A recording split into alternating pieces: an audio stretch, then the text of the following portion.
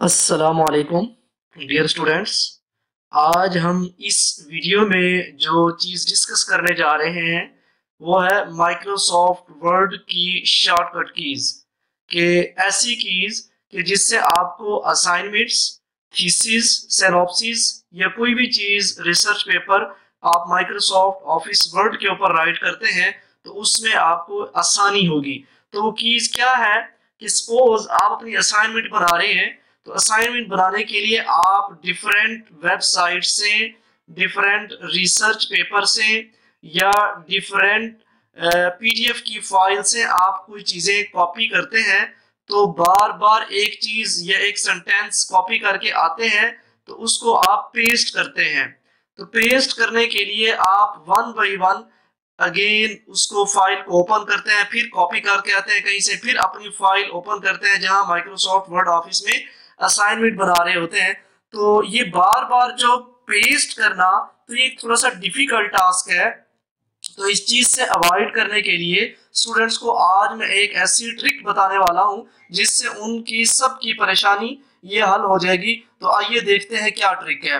Suppose कोई एक student है जो अपनी असाइनमेंट बना रहा है या कोई थीसिस सिनॉप्सिस कोई भी चीज़ माइक्रोसॉफ्ट वर्ड में राइट कर रहा है तो उसको कोई चीज़ें वेबसाइट से मिलती हैं कुछ पीडीएफ फॉर्म से मिलती हैं, कुछ कहीं से मिलती हैं। तो मैं इधर आपके सामने एज ए ट्यूटोरियल की फॉर्म में आपको समझाने के लिए कुछ चीज़ें कॉपी करता हूँ यहाँ से। तो आप देखना फिर किस तरह फिर उनको पेस्ट करता हूँ और वन टाइम पेस्ट करूँगा बार बार उनको कॉपी करके पेस्ट नहीं करूँगा। कॉपी तो जहाँ जहाँ से करूँगा, एक बार करता जाऊँगा और अगेन एक बार उसको जाके पेस्ट कर दूँगा। इसके लिए कोई अलग से शॉर्टकट कीज अलग से कोई सॉफ्टवेयर या अलग से कोई एप्लीकेशन या अलग से कोई विंडो इसमें कुछ भी नहीं चाहिए। तो आइए चलते हैं। सपोज़ एक स्टूडेंट है, उसको पाकिस्तान के रिलेटेड डाटा चाहिए। तो सबसे पहले जिस वर्ड फ़ाइल के ऊपर आपने करना है तो यहाँ पे आपको होम नज़र आएगा। स्टूडेंट्स अच्छी तरह देख लें।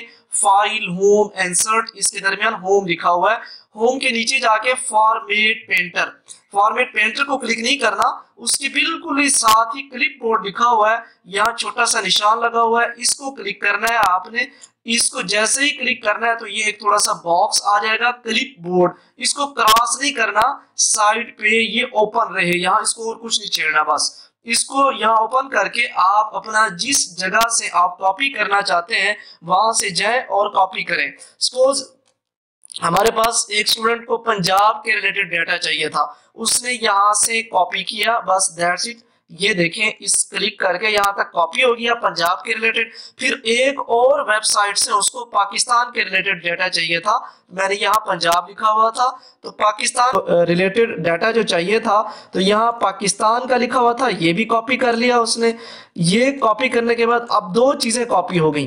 पंजाब के बारे में भी और पाकिस्तान के बारे में भी और वेबसाइट से ये कॉपी हुआ। तो आप वेबसाइट से अपने टॉपिक्स के रिलेटेड चाहे आप असाइनमेंट सैनॉप्सिस या किसी चीज़ के ऊपर भी वर्क कर रहे हैं तो इस तरह आपने जस्ट कॉपी करना है, कहीं पेस्ट नहीं किया आपने। जस्ट कॉपी रहने देना है। कॉपी रहने के बाद फिर आपको चाहिए था पीडीएफ फॉर्म में कुछ। तो मैंने यहाँ इधर पीडीएफ फाइल्स ओपन की हुई हैं, चार पीडीएफ की फाइल्स फ़र्स्ट ये इधर क्लिक करता हूँ तो आपको इसमें से जो एक सेंटेंस चाहिए है तो वो आपने कॉपी करना है। सपोज़ ये वाला सेंटेंस चाहिए स्टूडेंट्स को यहाँ तक तो इसको भी कॉपी कर लिया। अब स्टूडेंट्स काउंट करते जाए, तीन चीज़ें कॉपी कर ली। दो वेबसाइट से, एक पीडीएफ से। अब दूसरी भी मैंने पीडीएफ या इसी पीडीएफ की फ़ाइल से, या किसी और पीडीएफ फ़ाइल से आप कॉपी कर सकते हैं। तो यहाँ से दूसरी फ़ाइल मैंने ओपन की, यहाँ से मैंने कॉपी कर ले, कर लिया। अब चार चीज़ें हमारे पास कॉपी हो गई। दो चीज़ें पीडीएफ की फ़ाइल से, दो चीज़ें वेबसाइट से। एक और चीज़ आपको किसी और वर्ड की फ़ाइल में से कॉपी करनी है तो यहाँ मैंने वर्ड की फ़ाइल ओपन की हुई है। यहाँ से ये वाला सेंटेंस कॉपी कर लेते हैं। तो अब हमने पाँच जगहों से, पाँच डिफरेंट सोर्सेज से हमने कॉपी कर लिया। अब हम उनको पेस्ट करने जा रहे हैं, जहाँ हम अपनी असाइनमेंट बना रहे थे। असाइनमेंट हम यहाँ बना रहे थे। मैं क्लिप बोर्ड को यहाँ ऑन करके गया था। स्टूडेंट्स एक बार फिर देख लें कि यहाँ आपने होम पे जाना है क्लिक करना है। होम में आपको ये शो हो जाएगा। क्लिप बोर्ड ये वाला छोटा सा, या जहाँ मेरा कर्सर मूव कर रहा है, इसको आपने क्लिक करना है। क्लिक करने से ये आपके पास, ये बॉक्स इस तरह का ओपन हो जाएगा क्लिप बोर्ड आपने क्लियर ऑल नहीं करना पेस्ट ऑल करना है। तो अब आपने जो पाँच डिफरेंट सोर्सेज से पाँच दे सकते हैं। दस, पंद्रह, बीस इवन के twenty four twenty five time तक जा सकते हैं आप। कि बार बार, एक बार कॉपी किया, फिर आके पेस्ट किया, इस तरह नहीं करना आपने कि इस तरह आपका टाइम ज़ाया हो जाएगा। आप जस्ट उसको कॉपी करते रहे वहाँ से डिफरेंट सोर्सेज से, जैसे मैंने किया। फिर आपने जब कॉपी करने से पहले ये वाला ऑप्शन ऑन करके जाना है आपने।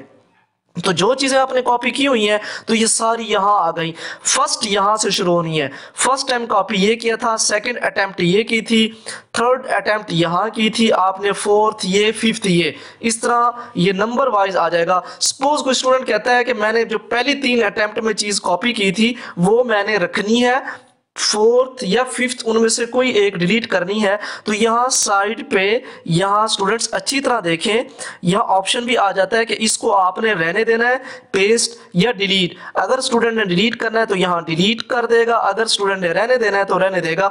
तो हम सारा कुछ यहाँ रहने देते हैं, क्योंकि असाइनमेंट के लिए, बनाने के लिए हम पाँच मुख्तलिफ़ सोर्सेज से ये सारा कुछ कॉपी करके आए हैं। कोई स्टूडेंट यहाँ क्वेश्चन करता है कि मैंने यहाँ पे पेस्ट ये वाला नहीं करना, मुझे नहीं चाहिए। चाहिए ये इससे और अच्छा मुझे डाटा मिल गया, वो मैं कॉपी करके आया हूँ।